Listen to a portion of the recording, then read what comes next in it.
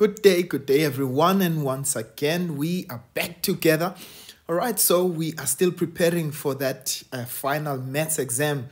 So if you have not subscribed, hey, Uncle is busy dishing out some good nuggets when it comes to maths in this case. All right, so let's quickly have a look at this question. So I took this question from um, the 2018 exam, and it's a really, really interesting question. So they say to us, we've got a graph that is g of x, ax cubed plus bx squared plus cx, which is a cubic function, right? Uh, it has a y-intercept of 0, okay? And um, the x-coordinates of the turning point are negative 1 and 2. All right, now let's quickly have a look at it. Now they say to us, for which values of x will g increase? Now note in this case, when we look at an increasing function, okay, so, um, all right, let me just take a color there. Uh, remember that we always assume that we are going towards the right hand side, right? So we're always going towards the right. So do you agree with me that between that point negative 1 and x is negative 2, our graph continues to increase as we go towards the right. So remember, every time they ask us these type of questions, your assumption should, should always be that we are moving uh, from the left going towards the right. Now, our graph is increasing, right? Between x is negative 1 and x is uh, 2. So you can say as an answer there, x would be an element of negative 1 and we are excluding that because at negative 1 the graph is not increasing, right? Uh, and also uh, at 2 the graph is not increasing. Or if you want to put it in inequality form, can say x is greater than negative 1 and less than 2. All right, so that is how you would uh, look at that um, question. Right, now let's quickly uh, go to the next one. So they say to us, we've got, they say write down the x coordinate of the point of inflection of G, right? So let me just zoom out of the question. Right, now I want you to note when we talk about the uh, x coordinate of the point of inflection, so to find the point of inflection, uh, inflection, we usually take the double derivative and make it equal to zero. But I also want you to note that it is the midpoint of the x coordinates in this case of your y value, right? I mean of your uh, turning points, right? So we can say, right, for 8.2, um, that x value would be minus 1 plus 2 all over 2 so that we get the midpoint, right? And you get a value of 1 over 2. So that would be the x value of your point of inflection. Okay, right. So the next question, they say for which values of x will g be concave down? So if you look at this graph, firstly, it starts as a concave up graph, right? Until the point of inflection. So we've just found out that the point of inflection is at 1 over 2. So what does that mean? From the point of inflection all the way till infinity, our graph starts becoming concave down, right? So we are simply going to say at that point, so for 8.3, we know that it will be x is an element of 1 over 2 all the way till infinity. Or if you wanted to write it in another form, you can say x is greater than 1 over 2. Right, so remember that our point in, of inflection is uh, either the maximum or the minimum point, um, or rather it's the point of maximum gradient in this case. So uh, in, in this case, we know that uh, we are, we are going to ex exclude that point, right? All right, so that's from a half to infinity. Right now, let's go on to the next question. 8.4. All right, 8.4 point, oh well, 8.4. Now they say to us, for which values of x, uh, no, actually I'm reading 8.3 again. If g dash x is minus 6x squared plus 6x plus 12, determine the, uh, the equation of g. So they said um, the derivative, okay, is minus 6x squared plus 6x plus 12, right? That's what they gave us there, right? So now we are looking for the value of g, uh, um, g of x. Now, please remember what you do to get g of x. And please, I want you to remember this, ladies and gents, right? Remember, we always will add 1. So in this case, I'm going to, we subtract 1 when we are deriving, right? And now we are going to reverse that process and add 1. So this becomes x cubed, right? 2 plus 1, that's 3. But now the coefficient that we have must be divided by the number, the sum that we just had uh, just now when we added 1. So this will be divided by 3. Okay, right. So you add 1 and you divide by that uh, result there. Right, let's do the same here. So we'll have 6. Now we're going to add 1. So that's 6x squared. And now we take that sum and we divide by it, right? That's divided by 2. And we're going to do the same. Remember, this is the same as x to the exponent 0, right? So uh, we add 1, okay? And so 0 plus 1 gives us 1. And so divide by 1. So this will be 12x, right, over 1. But please remember, guys, to always say plus d, right? Because remember, when you are deriving, when you've got a constant term, that constant term will usually just uh, fall off, right? So in this case, um, how do you get the value of d? d will be the x coordinate, I mean the, the y-intercept in this case, right? So as a result, uh, our equation is going to be minus 2x cubed plus 3x squared plus 12x.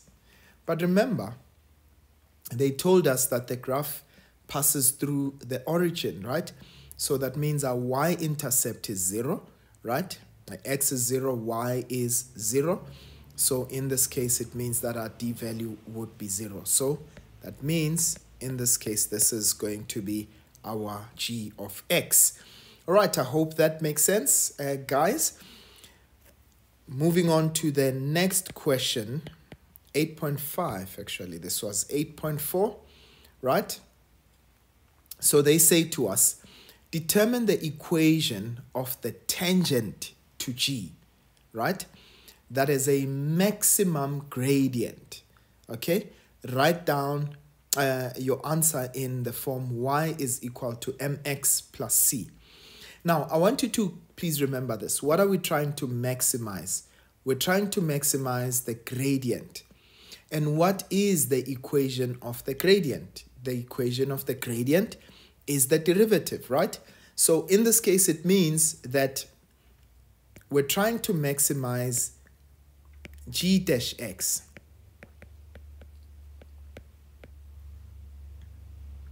Okay, there's g dash x plus 12, right?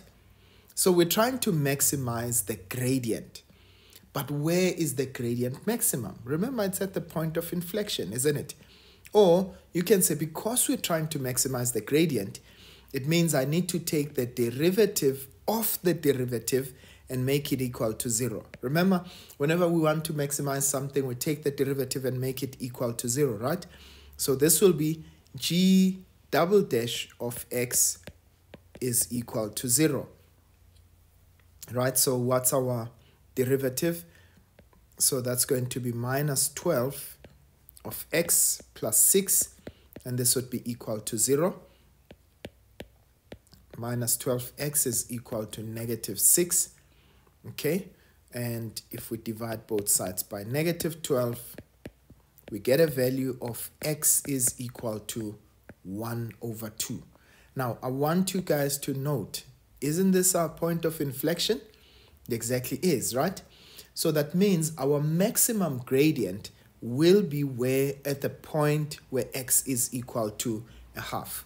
Now, how do we find the gradient? Okay, we are simply going to uh, substitute that x is equal to a half to the equation of the gradient, and that's the derivative. So which means we want the derivative at x is a half, okay?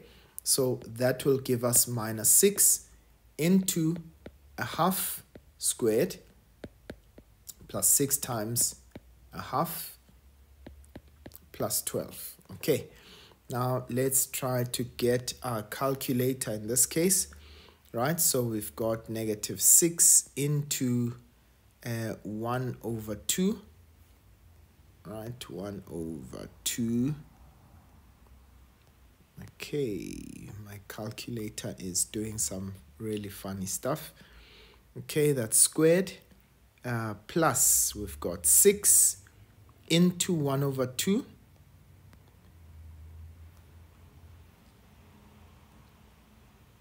and plus 12. Okay, and we get a value there of 27 over 2, or you can say 13.5. So that will be 27 over 2. So that's the gradient at the point where x is equal to a half, right? So which means the equation is y is equal to 27 over 2 x plus c. Now remember, for us to get the full equation, we need the entire point uh, to substitute into this equation. So which means I need the y value where x is equal to a half, right? So what I'm going to do is I'm going to substitute a half into my original equation, right? Remember this was the derivative, right? So I'm going to say g of 1 over 2. Okay, so that became um, our g of x value, or rather uh, equation. That's going to be minus 2 into 1 over 2 cubed plus uh, 3x squared. This is plus 3 into 1 over 2. Uh, what am I doing now? This is plus c. Uh, plus 3 times 1 over 2 squared um, plus this is 12 times 1 over 2. So all we did was to take the equation as it is and we are simply substituting 1 over 2. Right, so uh, what do we get there? All right, uh, this is going to be negative 2 into 1 over 2 um, cubed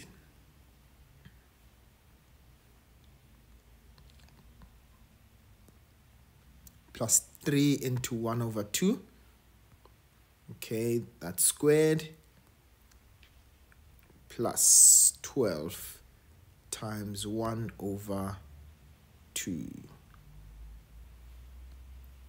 all right. Uh, I get a value of 6.5. Okay, or you can say 13 over 2. Uh, please, if you can, verify these values with me. Okay, so that means that our equation in this case, right, remember, which means we've got a point, and our point is when x is 1 over 2, y is 13 over 2 right? So we need to substitute that point there um, and substitute it into our equation. So y is 27 over 2 x plus c. So I'm going to substitute the points there when x is 1 over 2, y is 13 over 2. Okay, Right, and uh, in this case, I'm just simply going to get the value of c 13 over 2 minus 27 over 4.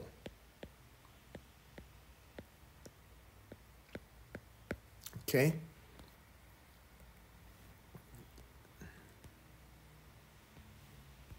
Right, subtract 27 over 4. Right, and I get negative 1 over 4, right? And that gives me negative 1 over 4. So, which means our equation is going to be y is equal to 27 over 2x minus 1 over 4. And that is how we're going to get the equation of the gradient. I hope that makes sense, ladies and gents, right? Um, the equation, rather, of the tangent. All right, I hope uh, that was clear enough.